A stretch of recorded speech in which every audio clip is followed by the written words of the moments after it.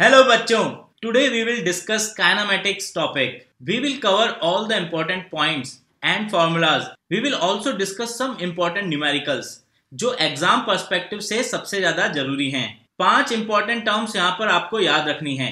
पहली position vector दूसरी distance versus displacement तीसरी average speed versus average velocity चौथी instantaneous speed versus instantaneous velocity and पांचवी acceleration simple terms में समझें तो अगर कार्टेशियन कोऑर्डिनेट सिस्टम में दो पॉइंट्स ए एंड बी के कोऑर्डिनेट्स दिए हुए हैं x A y A and z A x B y B and z B origin O से अगर ए पॉइंट पर एक एरो खींचे तो ये ओ ए वैक्टर ए का पोजीशन वेक्टर होगा, जिसे i j and k unit vectors के टर्म्स में लिख सकते हैं। Equals to x A i cap plus y A j cap plus z A k cap x A i cap position vector का x axis के along component है, जिसका magnitude x A है। इसी तरह y A j cap position vector O A का Y axis के along component है,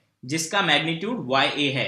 और z A k cap position vector O A का जेड एक्सिस के अलोंग कॉम्पोनेंट है, जिसका मैग्नीट्यूड जेड ए है। ए के पोजीशन वेक्टर को जनरली आर ए से भी डिनोट करते हैं। बी का पोजीशन वेक्टर क्या होगा? जी हाँ ओ बी वैक्टर इसे लिख सकते हैं O B vector equals to r B equals to x B i cap plus y B j cap plus z B k cap अब मान लीजिए एक ऑब्जेक्ट ए पॉइंट से बी पॉइंट ट्रेवल करता है थ्रू अ पॉइंट सी तो उसकी जो एक्चुअल पाथ लेंथ है ए सी बी कर्व की उसे डिस्टेंस ट्रेवल्ड कहेंगे। लेकिन वेक्टर्स की टर्म्स में अगर देखेंगे तो उस ऑब्जेक्ट का जो ए पॉइंट से बी पॉइंट पर जाने में चेंज इन पोजीशन वेक्टर आया है, उसे डिस्प्लेसमेंट कहेंगे। यानी O B vector minus O A vector which is the change in position vector is equal to displacement and it is equals to A B vector इसका मतलब यह है कि डिस्प्लेसमेंट तो केवल फाइनल पोजिशन आर एफ़ और initial position are आई पर depend करता है। और इसका मैग्नीट्यूड होगा इन दोनों पोजीशंस को कनेक्ट करने वाली लाइन सेगमेंट की लेंथ के बराबर। डिस्प्लेसमेंट को कोऑर्डिनेट सिस्टम के पॉइंट्स की टर्म्स में लिख सकते हैं। A B vector which is equals to final position r f minus initial position r i equals to r B minus r A क्योंकि यहाँ पे बी फाइनल पोजिशन है और A initial position vector equals to x B minus x A i cap plus y B minus y A j cap plus z B minus z A k cap displacement को letter S से भी denote करते हैं. Second जो definition हैं, वो है average speed and average velocity की. Average speed is the ratio of total distance travelled to the total time taken वहीं average velocity is defined as the ratio of total displacement to the total time taken. Third है instantaneous velocity which is the rate of change of displacement with time at a particular point in time or instant. So V instantaneous equals to ds by dt or dr by dt.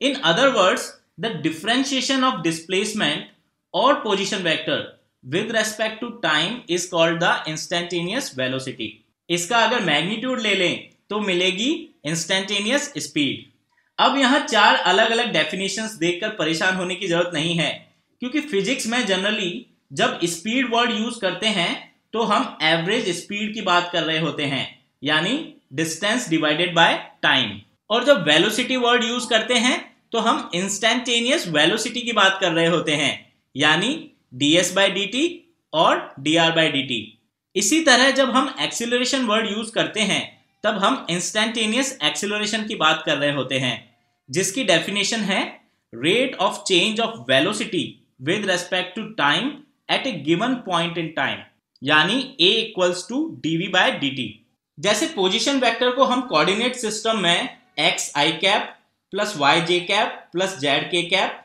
x y and z axis के components की term में लिख सकते हैं। वैसे ही velocity and एक्सिलोरेशन को भी लिख सकते हैं। velocity equals to dr by dt equals to d by dt of x, i cap plus y j cap plus z k cap equals to d x by d t i cap plus d y by d t j cap plus d z by d t k cap so velocity equals to v x i cap plus v y j cap v z k cap where vx equals to component of velocity along x-axis equals to dx by dt. Similarly, vy equals to component of velocity along y-axis equals to dy by dt and vz equals to component of velocity along z-axis equals to dz by dt. Acceleration की case में a equals to dv by dt equals to d by dt of vx i cap plus vy j cap plus vz k cap equals to dvx by dt i cap plus dvy by dt j cap plus dvz by dt k cap equals to ax i cap plus ay j cap plus az k cap. एक example देखते हैं। मान लो आपको एक object का x coordinate दिया गया है। X equals to five t minus two t square and y coordinate है y equals to ten t यहाँ टी टाइम है। अब आपसे एक्सिलरेशन पूछा गया है। एक्सिलरेशन डिस्प्लेसमेंट से टू स्टेप्स में आता है। पहले वेलोसिटी निकालेंगे। V equals to d x by d t i cap plus d y by d t j cap equals to d by d t of five t minus two t square i cap plus d by d t of ten t j cap time की powers को differentiate करने का formula है। D by d t of t to the power n equals to n times t to the power n minus one so so, t का differentiation one होगा और T square का differentiation two T होगा। Therefore यहाँ से हमें velocity के x और y कंपोनेंट मिल जाएँगे। अब वेलोसिटी को डिफ्रेंशिएट करके हमें एक्सिलरेशन मिलेगा। A equals to d v x by d t i cap plus d v y by d t j cap constant number का डिफ्रेंशिएशन क्या होता है? ज़ीरो इसीलिए एक्सिलरेशन की वैल्यू हमें मिलेगी माइनस फोर आई कैप बच्चों अब बात करते हैं इक्वेशंस ऑफ़ मोशंस की। यहाँ हम यूनिफॉर्म एक्सिलरेशन मोशन की बात करेंगे। यूनिफॉर्म एक्सिलरेशन मोशन मतलब एक्सिलरेशन की वैल्यू टाइम के साथ बदलती नहीं है। ये एक कांस्टेंट वैल्यू रहती है। एक्सिलरेशन की वैल्यू होती है a equals to d v by d t ये अभी डिफ्रेंशिएशन की फॉर्म में है। इसे हम इंटीग्रेशन की फॉर्म में इस तरह लिख सकते हैं। Integration of d v equals to integration of a d t अब क्योंकि एक्सिलरेशन कांस्टेंट है, इसीलिए ए इंटीग्रेशन से बाहर आ जाएगा। मान लीजिए at time t equals to zero object की वेलोसिटी u है, और किसी टाइम t पर वेलोसिटी v है तो हम इंटीग्रेशन को इस फॉर्म में लिख सकते हैं with initial and final conditions यहाँ से हमें पहली इक्वेशन मिलेगी, v minus u equals to a times t और v equals to u plus a times t इसी तरह v equals to d s by d t को इंटीग्रेशन फॉर्म में लिख सकते हैं। Integration d s equals to integration v d t जो value हमें v की पहले मिली थी, वो यहाँ पर हम रख देंगे। T इक्वल्स टू ज़ीरो पर डिस्प्लेसमेंट की क्या वैल्यू होगी? ज़ीरो और किसी टाइम t पर अगर डिस्प्लेसमेंट की वैल्यू s मानते हैं तो हम इस इंटीग्रेशन फॉर्म को इनिशियल कंडीशंस के साथ इस तरह लिख सकते हैं। T की पावर्स में इंटीग्रेशन का फॉर्मूला होता है। Integration t to the power n dt t equals to t to the power n plus one divided by n plus one values put करने पर हम लिख सकते हैं s equals to u times t plus half a times t square एक equation और आती है.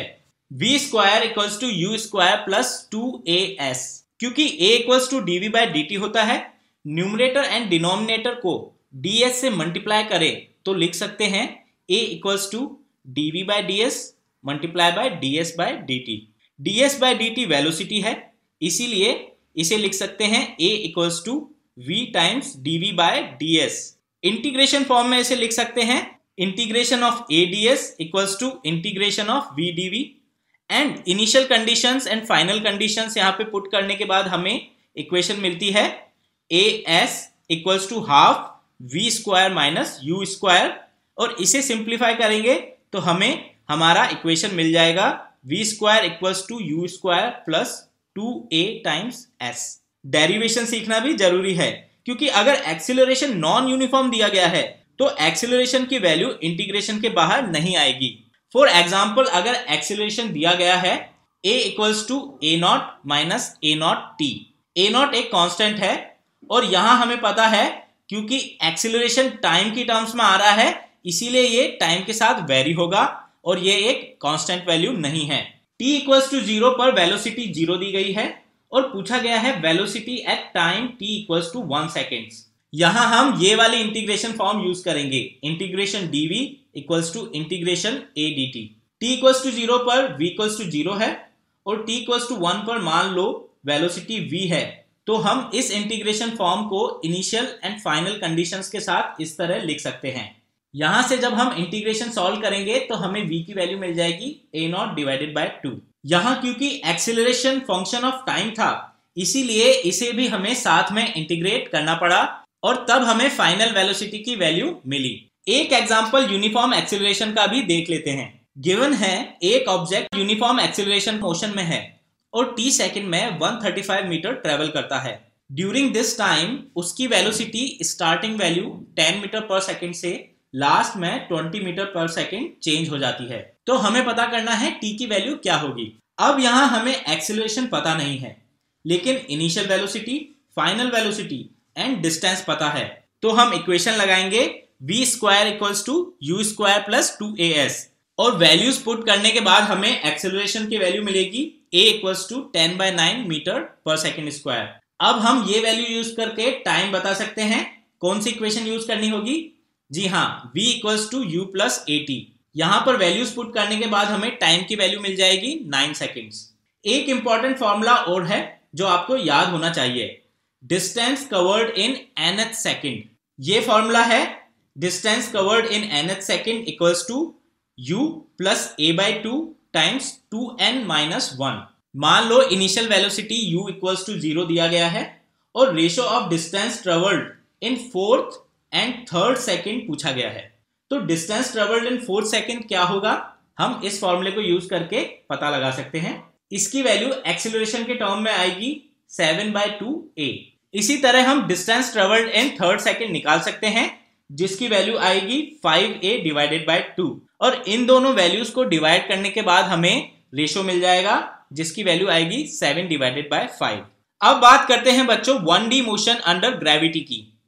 यहाँ सिंपली एक्सेलरेशन को माइनस जी लेना होता है। माइनस इसलिए क्योंकि displacement velocity and acceleration vector quantities हैं। और इनकी वैल्यूज़ हमें बेस्ड ऑन इनकी क्या डायरेक्शन है, सही साइन के साथ इक्वेशन में रखनी होती हैं। साइन कन्वेंशन क्या है? सिंपल है। वर्टिकल अप डायरेक्शन पॉजिटिव लेनी होती है। वर्टिकली डाउन डायरेक्शन नेगेटिव लेनी होती है। हॉरिजॉन्टली राइट डायरेक्शन पॉजिटिव है। और हॉरिजॉन्टल लेफ़्ट डायरेक्शन नेगेटिव है। अब क्योंकि acceleration due to gravity vertically down direction में होती है, इसीलिए इसे इक्वेशन में नेगेटिव साइन के साथ लिखते हैं। अब मान लीजिए एक बॉल को हवा में उछाला जाए तो उसकी मैक्सिमम हाइट क्या होगी? आपने देखा होगा बॉल को ऊपर थ्रो करते हैं तो पहले तो वो ऊपर जाती है, फिर एक पॉइंट पर रुक जाती है और नीचे आने लगती है। जिस पॉइंट पर बॉल रुक गई है वहाँ उसकी मैक्सिमम हाइट अटेन होगी। यहाँ हम दो इक्वेशन यूज़ करेंगे। S equals to U T plus half A T square and v equals to U plus A T V की वैल्यू जब ज़ीरो होगी, तब हमें मैक्सिमम हाइट h मिलेगी। एक्सिलेशन की वैल्यू हमेशा माइनस जी रहेगी। इनिशियल वेलोसिटी u है। तो हम इक्वेशन लगा सकते हैं। Zero equals to U minus G T यहाँ से हमें टाइम की वैल्यू मिलेगी u डिवाइडेड बाय g ये जो टाइम की वैल्यू है, वो है time during the upward motion इसी तरह हम सेकेंड इक्वेशन लगा सकते हैं H equals to U T minus half G T square और यहाँ पे हम टाइम की क्या वैल्यू रखेंगे? Time during the upward motion जी हाँ t equals to U divided by G ये वैल्यूज़ पुट करने के बाद हमें एच की वैल्यू मिलती है U square divided by two G ये हमारी मैक्सिमम हाइट है. जब बॉल वापस आपके हाथ में आ जाएगी, तब बॉल का डिस्प्लेसमेंट क्या होगा? जी हाँ ज़ीरो क्योंकि फाइनल पोजीशन और इनिशियल पोजीशन सेम हो गई है। S equals to zero equals to U T minus half G T square यहाँ से टाइम आएगा T equals to two U divided by G ये टाइम क्या है? ये टाइम बॉल का हवा में टोटल टाइम है including upward motion and downward motion ऊपर जाने का टाइम हमने देखा था T up equals to U divided by G है और टोटल टाइम आया है टू यू बाई जी तो यहाँ से हमें टाइम ड्यूरिंग डाउनवर्ड ट्रेवल भी मिल जाएगा, जो कि अपवर्ड ट्रेवल के बराबर आएगा equals to U divided by G जब बॉल आपके हाथ में आएगी, तब उसकी वेलोसिटी कैलकुलेट करने के लिए इक्वेशन लगाएँगे। Minus V equals to zero minus G times time during downward travel बच्चों इनिशियल वेलोसिटी ज़ीरो इसलिए है, क्योंकि हम डाउनवर्ड मोशन ही कंसिडर कर रहे हैं। जो बॉल की वेलोसिटी ज़ीरो होने के बाद स्टार्ट होता है। यहाँ से हमें वेलोसिटी की वैल्यू मिलेगी। V इक्वल्स टू यू यानी जिस वेलोसिटी से हमने बॉल को थ्रो किया था, उसी वेलोसिटी से बॉल हमारे हाथ में वापस आएगी। अगर बॉल को ड्रॉप करते हैं तो सिचुएशन अलग होती है। इनिशियल वेलोसिटी ज़ीरो होगी। और अगर एच हाइट से ड्रॉप किया गया है तो हम लिख सकते हैं minus H equals to zero minus half G T square यहाँ पे हमने माइनस एच इसलिए लिखा है, क्योंकि डिस्प्लेसमेंट डाउनवर्ड डायरेक्शन में है। और कन्वेंशन के हिसाब से डाउनवर्ड डायरेक्शन नेगेटिव होती है।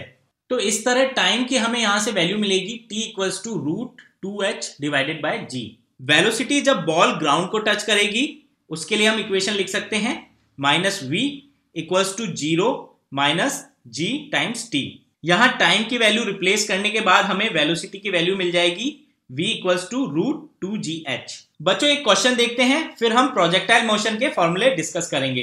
अगर आपने एक बॉल वर्टिकली अपवर्ड थ्रो करी यू वेलोसिटी से तो हमें बताना है distance travelled during last T second of upward motion हमें पता है टॉप पर वेलोसिटी ज़ीरो हो जाती है। मान लेते हैं टॉप पर पहुँचने से टी सेकेंड पहले वेलोसिटी वी डैश थी तो हम equation of motion v equals to U plus A T यहाँ पर लगा सकते हैं।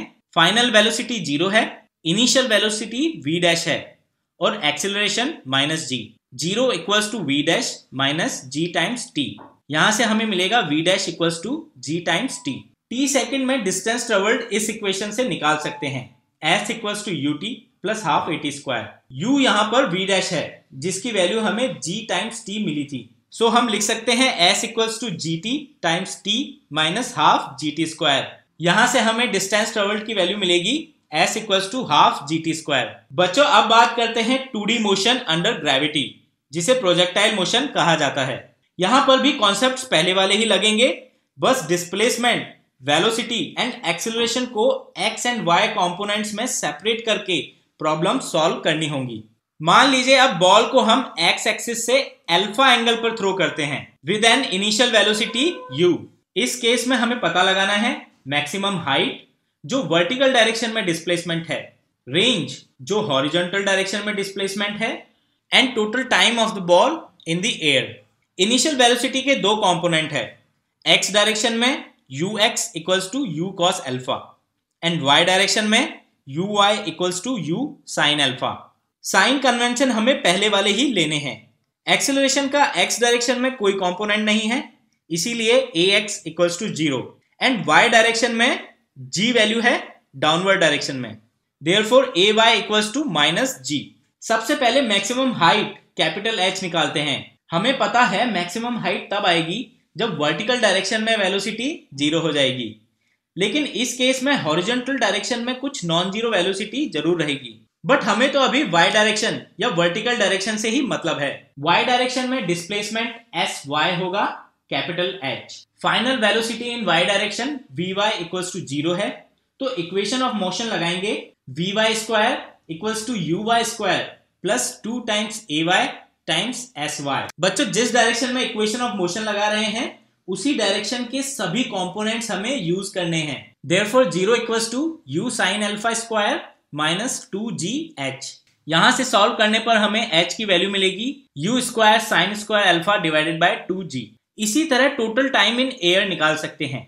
जब बॉल अगेन ग्राउंड को टच करेगी, तब वर्टिकल डायरेक्शन में displacement S Y equal to zero होगा। क्योंकि पहले जैसे हमने देखा था वन डी मोशन में बॉल की initial and final position vertical direction में सेम हो गई है। इसीलिए डिस्प्लेसमेंट ज़ीरो आएगा। इक्वेशन ऑफ़ मोशन होगी S Y equals to U Y T plus half A Y T square values put करने के बाद हमें मिलेगा zero equals to U sine alpha T minus half G T square और यहाँ से total time of the ball in the air हमें मिलेगा two U sine alpha divided by G. Finally range भी हम इजीली निकाल सकते हैं। एक्स डायरेक्शन या हॉरिजॉन्टल डायरेक्शन में इक्वेशन ऑफ़ मोशन लगानी पड़ेगी। टाइम हमें पता है टोटल टाइम होगा, जो हमने अभी कैलकुलेट किया था।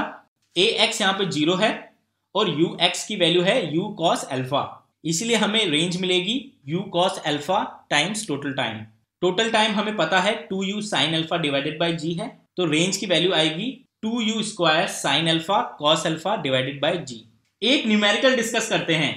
मान लो बॉल को एक टावर से, जो 45 मीटर ऊँचा है हॉरिजॉन्टली थ्रो किया गया है with a velocity of 40 metre per second हमें पता लगाना है time after which ball touches the ground vertical displacement ball का डाउनवर्ड डायरेक्शन में है, यानी S Y equals to minus forty five metre लेना होगा। Initial velocity horizontally right direction में है इसीलिए U X equals to forty metre per second Y direction में इनिशियली कोई वेलोसिटी नहीं है U Y equals to zero तो equation of motion Y direction में लगाएँगे minus forty five equals to zero minus half G T square G की value हम लेंगे ten metre per second square यहाँ से हमें टी की वैल्यू मिलेगी T equals to three second क्या यहाँ पे डायरेक्ट फॉर्मूला यूज़ कर सकते हैं? जो हमने अभी देखा था total time equals to two U sine alpha divided by G नहीं, ये फॉर्मूला तभी लगा सकते हैं जब इनिशियल एंड फाइनल पोजीशन में वाई डायरेक्शन सेम लेवल पर हो, यानी वर्टिकल डिस्प्लेसमेंट ज़ीरो हो। जैसे जब बॉल ग्राउंड से थ्रो करें और ग्राउंड पर ही आकर गिर जाए। लेकिन यहाँ वाई डायरेक्शन में डिस्प्लेसमेंट नॉन ज़ीरो है, इसीलिए टोटल टाइम का फॉर्मूला अलग आता है। इसकी वैल्यू वैसे आती है total time equals to root two X divided by G लेकिन बच्चों, मैं आपको सजेस्ट करूँगा कि फॉर्मूला याद करने की जगह आप सीधे इक्वेशन ऑफ़ मोशंस लगाएँ। आंसर ऐसे भी इजीली आ जाएगा और मिस्टेक भी नहीं होंगी। बस X direction and Y direction में अलग अलग इक्वेशंस ऑफ़ मोशन लगानी है और साइन कन्वेंशन का भी ध्यान रखना है। लास्ट में रिलेटिव मोशन समझ लेते हैं और हमारा काइनामेटिक्स चैप्टर पूरा फिनिश हो जाएगा। मान लो खतरों के खिलाड़ी का रेल वाला स्टंट चल रहा है और धर्मेश ट्रेन पर रन कर रहा है। करण उसे नीचे से ऑब्ज़र्व कर रहा है। मान लो करण को train 100 kilometre per hour velocity से रन करती नज़र आ रही है। दो केसेस हो सकते हैं। करण ग्राउंड से देख रहा है या ऑब्ज़र्व कर रहा है। सेकेंडली करण ट्रेन पर बैठा है और धर्मेश को ऑब्ज़र्व कर रहा है। सेकेंड केस में जब करंट ट्रेन पर बैठा होगा, तब धर्मेश मान लो उसे 5 किलोमीटर पर आवर वेलोसिटी से रन करता नज़र आता है। ट्रेन उसे वहीं खड़ी नज़र आएगी। और धर्मेश 5 किलोमीटर पर आवर से रन करता नज़र आएगा। सो ये जो 5 किलोमीटर पर आवर वेलोसिटी है धर्मेश की, उसे कहेंगे velocity of Dharmesh with respect to the train क्योंकि हम ट्रेन पर बैठकर उसे ऑब्ज़र्व कर रहे हैं। And on the other hand first case में जब करंट ग्राउंड पर है तो उसे धर्मेश बहुत फास्ट वेलोसिटी से मूव होता दिखेगा। फाइव किलोमीटर पर आवर उसकी ट्रेन पर रन करने वाली velocity plus hundred kilometre per hour train की खुद की वेलोसिटी यानी total hundred and five kilometre per hour की वेलोसिटी से वो रन करता हुआ नज़र आएगा। Hundred and five kilometre per hour velocity है। Velocity of Dharmesh with respect to ground क्योंकि हम ग्राउंड से उसे ऑब्ज़र्व कर रहे हैं। क्या हम ये कह सकते हैं? Velocity of Dharmesh with respect to train equals to velocity of Dharmesh with respect to ground minus velocity of train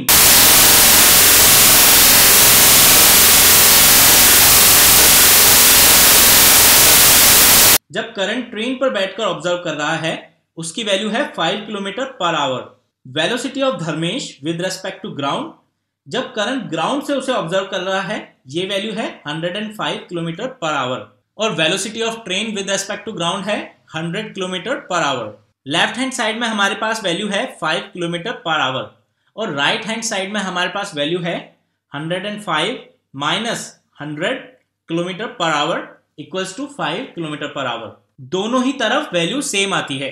तो ये इक्वेशन है रिलेटिव मोशन की। जनरल टर्म्स में हम लिख सकते हैं velocity of A with respect to B equals to velocity of A minus velocity of B ground term हमने V A and V B से ड्रॉप कर दिया है। लेकिन हम ये हमेशा मान के चलते हैं कि ये वेलोसिटीज की वैल्यूज़ ए एंड बी की ग्राउंड पर खड़े स्टेशनरी ऑब्जर्वर ने ऑब्ज़र्व करी हैं।